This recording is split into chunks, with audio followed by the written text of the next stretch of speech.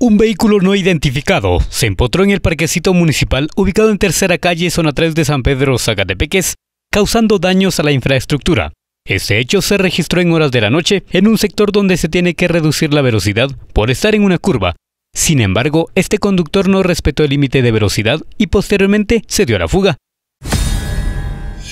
Definitivamente es, es, lamentable, la verdad, porque en el sitio más que todo donde se ha dado, donde precisamente vienen no solo niños de los vecinos eh, de acá, de este sector, sino de igual manera vienen también eh, niños de diferentes instituciones educativas.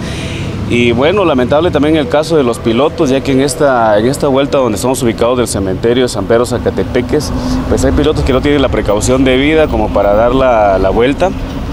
y lo hacen de manera muy rápida. Entonces eso yo creo que eh, ha dado la, la, opción para que se haya dado este suceso lamentable y, no toman, aparte de no tomar sus precauciones, pero no, no, hacen, no hacen caso de, de hacerse responsables de, de estos daños más que todo.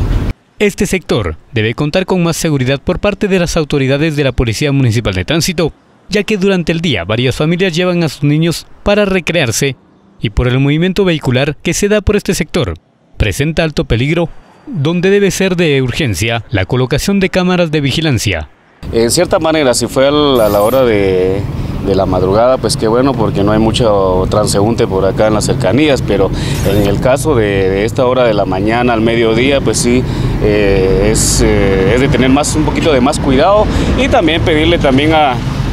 personeros de la Policía Municipal de Tránsito, ¿verdad? De que de cierta manera podrían estar acá ubicados eh, algunos de los personeros, porque definitivamente para ver que, que los eh, automotores pues no, no se excedan en, en velocidad al momento de dar, de dar la vuelta. Reporta Luis Orozco.